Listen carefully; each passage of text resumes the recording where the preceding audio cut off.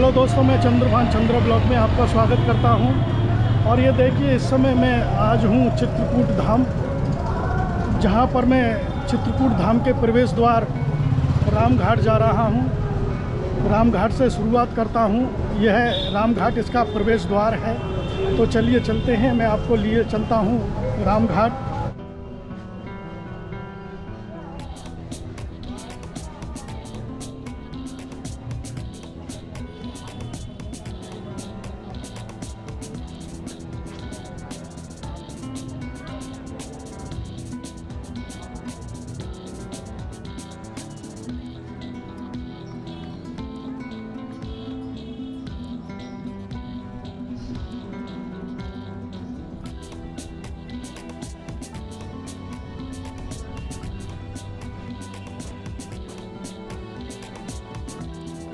और देखिए दोस्तों यह है मंदाकिनी नदी है और मंदाकिनी नदी का उद्गम स्थल भी यहीं चित्रकूट में है। यहाँ से 12 किलोमीटर दूर है, मैं आपको वहाँ पर भी लेके चलूँगा। और ये देखिए किस तरह से ये मंदाकिनी नदी में यहाँ लोग बाग स्नान कर रहे हैं।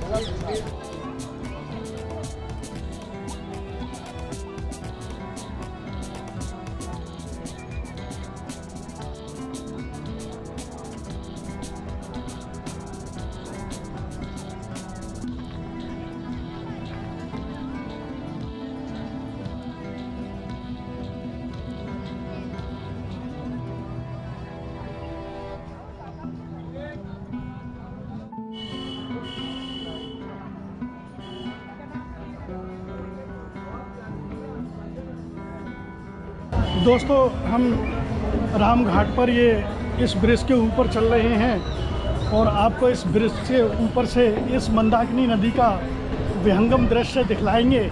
सुबह का समय है, बादल हो रहे हैं। धूप बिल्कुल भी नहीं निकल रही।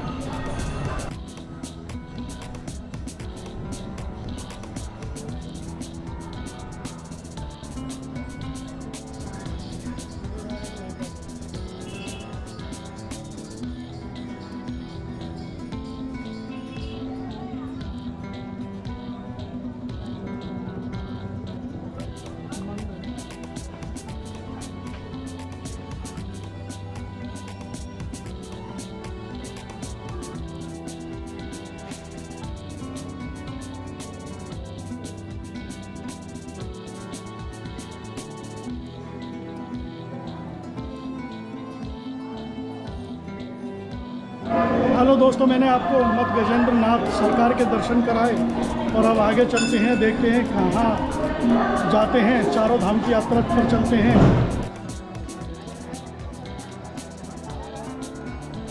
तो यहाँ शाम को आरती होती है मंदाकिनी माँ की। हम हो सकता है कि हम आपको शाम को यहाँ आरती भी दिखलाएँ। देखिए भैया, ये कल्लू वर्मा है, इनका ऑटो है और इनसे हम चार धाम के लिए इन्होंने हमें बुक किया है जो एक सौ पर सवारी के हिसाब से ले रहे हैं शेयर में। तो चलिए चलते हैं चित्रकूट चित्रकूट धाम में जो चार धाम हैं। आप कौन कौन से धाम घुमाओगे बताइए जी। सती अनुसुईया गुप्त गोदावरी पटकशिला राम दर्शन जानकी कुंड हनुमान धारा। हनुमान दा इसका करा के रामदना छोड़ूँगा ठीक है उसके बाद पैसे आपको हम यहीं देंगे। धाम कराने के बाद पैसा यहीं लेंगे। चलो। हम तो ये ऑटो वाले जो हैं, हनुमान धारा लेके चलते हैं पहले।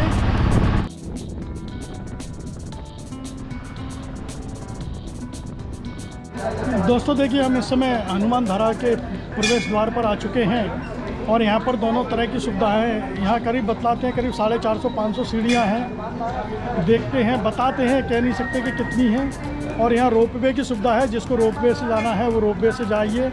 लेकिन हमने चुना है, आज हम यहाँ पैदल जाएँगे और ये सामने आप देख रहे हैं, ये रोप वे है।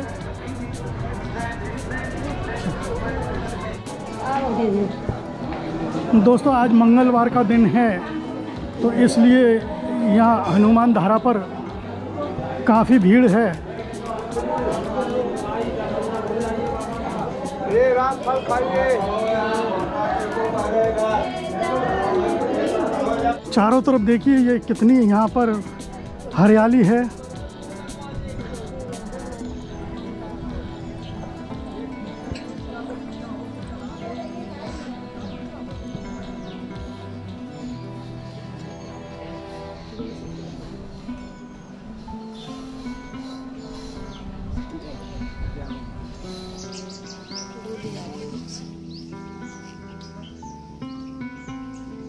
मौसम साफ़ नहीं है, इस समय यहाँ धुंध छाई हुई है, इसलिए थोड़ा धुंधला दिखाई दे रहा है। और ये सामने आप देख रहे हैं रोपवे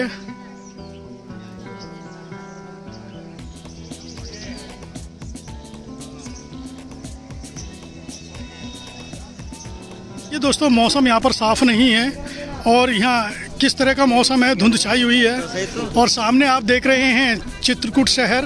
देखिए कितना सुंदर नज़ारा है इस पहाड़ी का।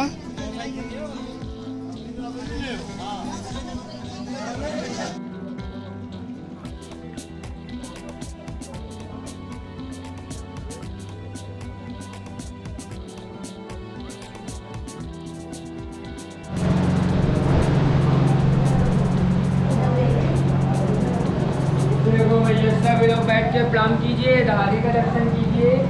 यही धारा है। जो देखने आए हैं आप लोग हनुमान धारा। ये राम जी ने बाण मारा है और ये बाण मार के धारा को निकाला है। ना इस धारे का आने का पता है और ना ही नीचे जाने का। पता है। इसी का नाम हनुमान धारा बोला जाता है। ना ये धारा घटेगी ना ही बरसात में ये धारा बहेगी। इसी का नाम हनुमान धारा। बोला जाता है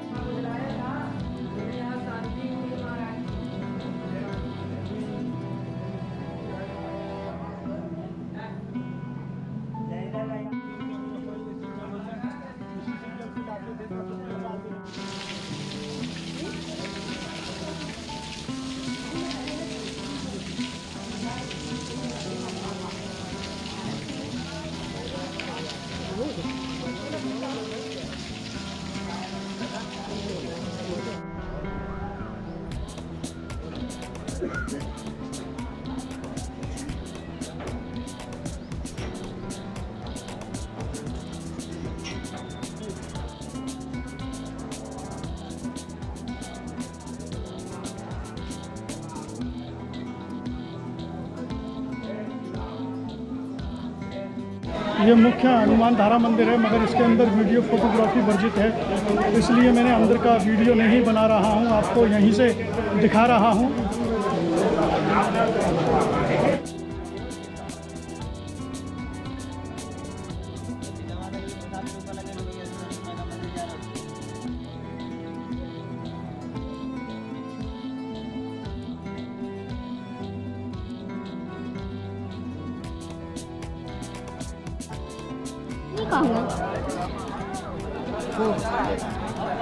दोस्तों, इस समय हम सीता जी की रसोई आ चुके हैं।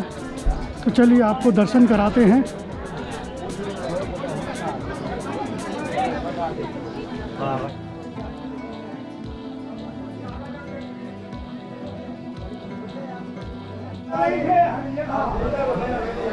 हल्की हल्की बारिश शुरू हो चुकी है दोस्तों। मौसम बहुत ही खुशनुमा है और हम आपको इस चोटी से दिखाएँगे। हम सीता माँ की जो रसोई है, बिल्कुल ऊपर जाके हनुमान अंधारा से भी ऊपर टॉप पर है। तो चलिए हम आपको रसोई के अंदर दिखाते हैं।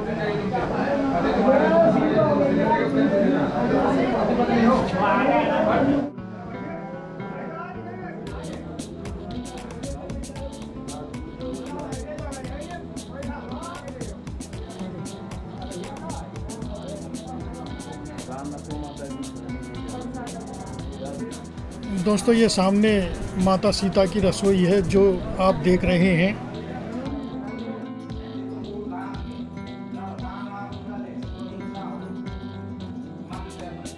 दर्शन करके हनुमान धारा और सीता रसोई से नीचे आ चुके हैं और अब हमको जो ऑटो वाला है, वो लेके जाएगा जानकी कुंड। अब हम आपको जानकी कुंड लेके चलते हैं। बने रहिए मेरे साथ चंद्रा ब्लॉग में।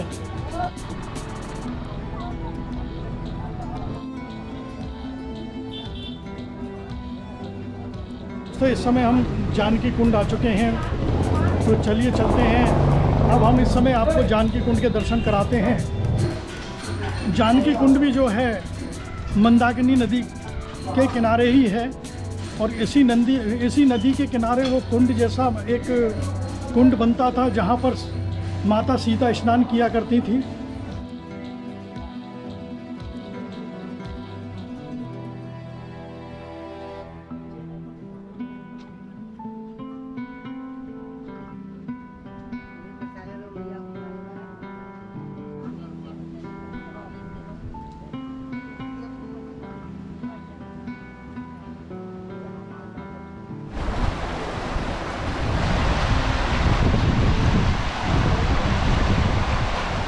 ये सीता माँ के पैरों के चरणों के निशान हैं और यहीं पर माता सीता स्नान किया करती थी।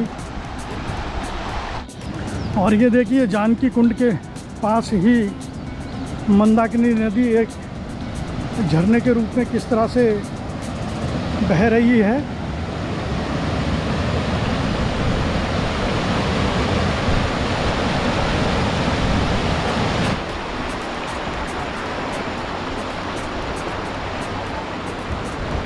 दोस्तों, इस समय मैं बिल्कुल जानकी कुंड के पास इस ब्रिज पर खड़ा हुआ हूँ और यहाँ से आप खुद देख सकते हैं, ये कुंड जहाँ पर सीता माता स्नान किया करती थी।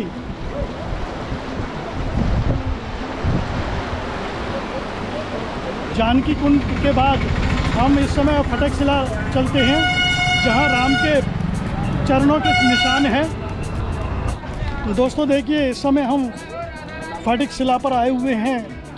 जहाँ पर कि इंद्र के बेटे जयंत ने जो है, यहाँ सीता जी श्रृंगार कर रही थी उस सिले पर तो वहाँ पर उनके पैरों में चोंच मार करके, कौए का रूप में चोंच मार करके गए थे तो इसलिए राम जी ने एक तीर छोड़ा और वह तीर उनकी आँख में जाके लगा, जिससे कि आज भी कौए को आप काना कहा जाता है, कौए को। तो चलिए चलते हैं फटिक शिला के पास आपको दर्शन कराते हैं।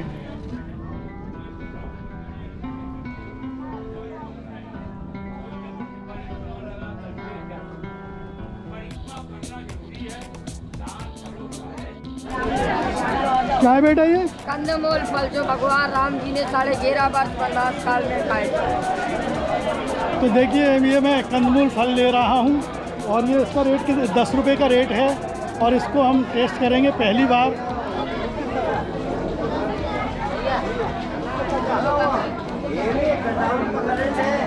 इसमें कोई भी टेस्ट नहीं है लेकिन ऋषि मुनि जंगलों में जो रहते हैं और भगवान राम जो, जो रहे थे इन्होंने इसी फल को खा करके अपना समय गुजारा था जो चौदह साल का वनवास काटा था। चौदह साल में से ग्यारह साल उन्होंने चित्रकूट में बिताए थे, फटिकशिला से दर्शन करके आ रहे हैं। और अब हम आपको लेके चलते हैं माता सती अनुसुईया मंदिर। तो चलिए बने रहिए मेरे साथ चंद्रा ब्लॉग में।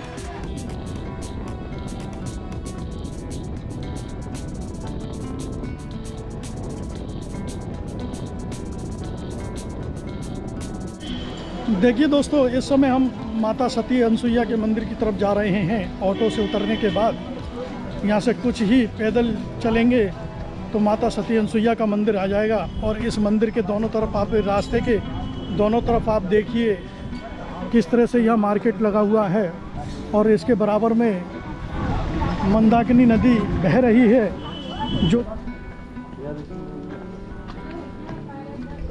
यहाँ आपको लेटे हुए हनुमान जी के भी दर्शन हो जाएँगे।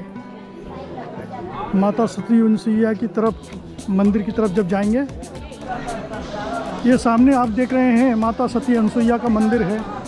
और मंदिर में चलते हैं, अगर वीडियोग्राफी नहीं बनाने देंगे तो फोटोग्राफी नहीं करने देंगे तो देखते हैं, अगर बनाने देंगे तो आप तक हम अंदर का वीडियो बना के दिखाएँगे।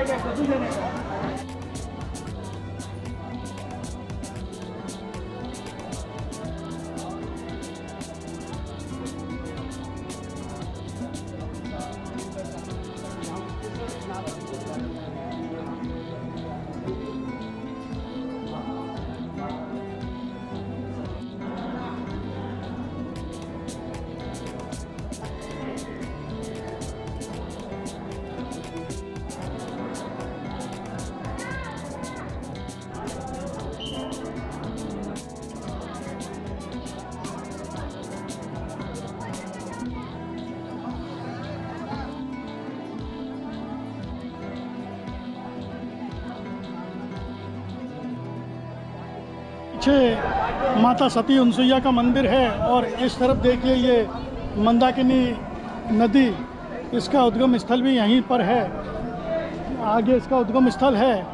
तो दोस्तों, यह मैंने आपको माता अनुसुईया मंदिर का अवलोकन कराया, मंदिर दिखाया आपको और दोस्तों, अब हम चलते हैं गुप्त गोदावरी के लिए। आपको गुप्त गुप्त, आपको गुप्त गोदावरी लेके चलते हैं। जहाँ पर श्री राम जी ने दरबार लगाया था, ये माता सती उनसैया के पास आप ये देखिए, छोटा सा मिनी डैम बना हुआ है। और किस तरह से यहाँ पानी का फ्लो जा रहा है।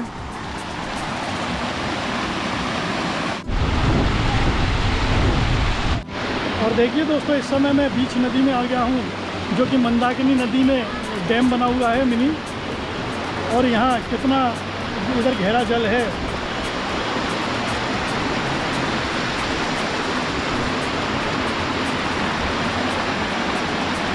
इस समय हम चल रहे हैं गुप्त गोदावरी के लिए।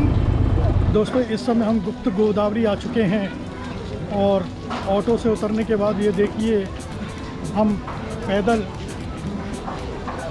गुप्त गोदावरी की ओर जा रहे हैं। दोस्तों देखिए यहाँ गुप्त गोदावरी के लिए यहाँ बीस रुपये पर व्यक्ति का एक टिकट लगता है। तो पहले हमें यहाँ से टिकट लेना पड़ेगा, उसके बाद गुप्त गोदावरी के दर्शन करने गुफा में जाना पड़ेगा। और ये देखिए टिकट के लिए किस तरह से लाइन लगी हुई है, आज काफ़ी भीड़ है।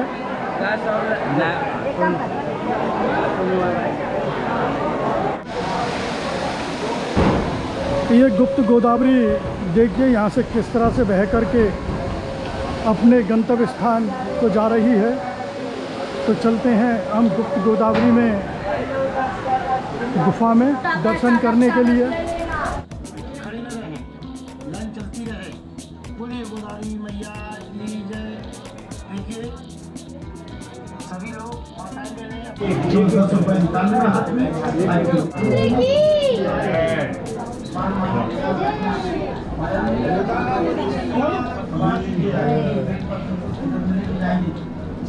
रहे लाइन चलती रहे बोले गोदावरी मैया की जय देखिए सभी लोग माताएँ बहनें वो पहले वाला नहीं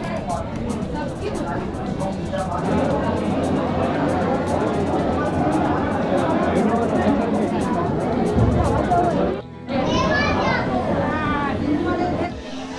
दोस्तों ये गुप्त गोदावरी वो गुफा है जहाँ पर श्री राम जी ने अपना यहाँ दरबार लगाया था और इसी गुफा में वो रहे थे। आप सामने खुद देख रहे हैं। दोस्तों दो गुफाएँ हैं। गुप्त गोदावरी एक में दरबार लगा था और एक में गोदावरी नदी बहती है। उस नदी बहती हुई में हमें वीडियो नहीं बनाने दिया गया। दोस्तों आज हमारा यहाँ दूसरा दिन है राम घाट पर। तो देखिए हम तुलसी गुफा चलते हैं और आज शाम को हम आपको आरती भी दिखलाएँगे। तो आज हमारा दूसरा दिन राम घाट पर रहेगा। हम चल रहे हैं। तुलसीदास की तपोस्थली तुलसीदास गुफा। तो चलिए चलते हैं गुफा में दर्शन करते हैं।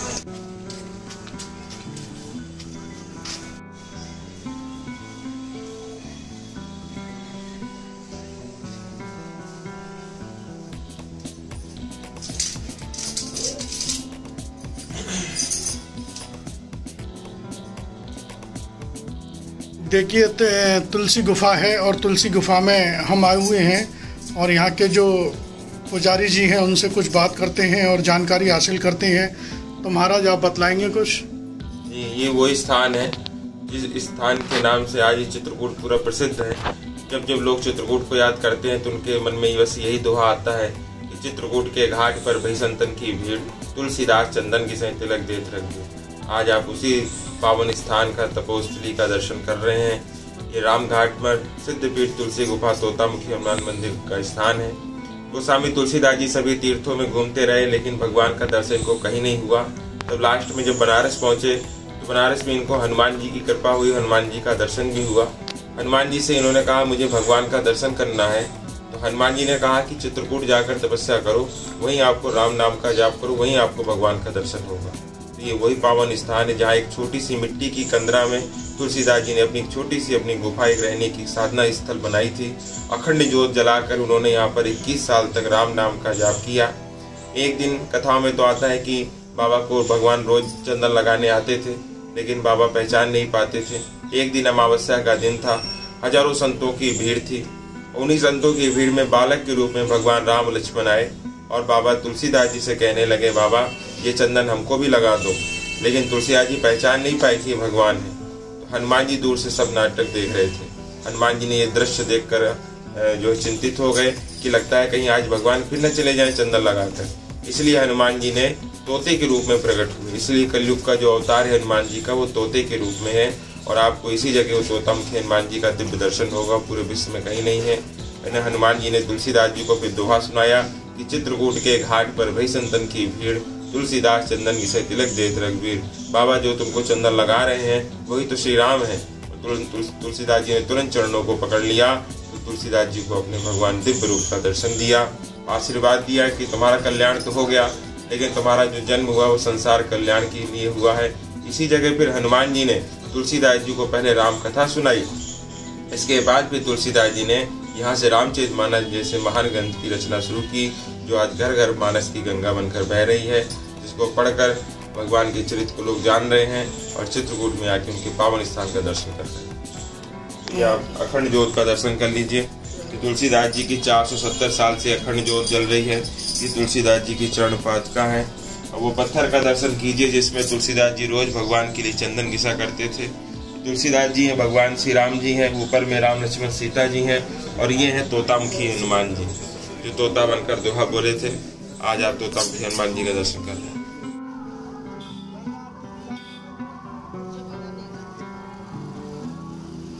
दोस्तों इस समय हम रामघाट चित्रकूट रामघाट पर हैं और यहाँ शाम का नज़ारा है और देखिए आरती का समय है अभी आरती होगी कुछ समय में अभी हम आपको दिखाएँगे आरती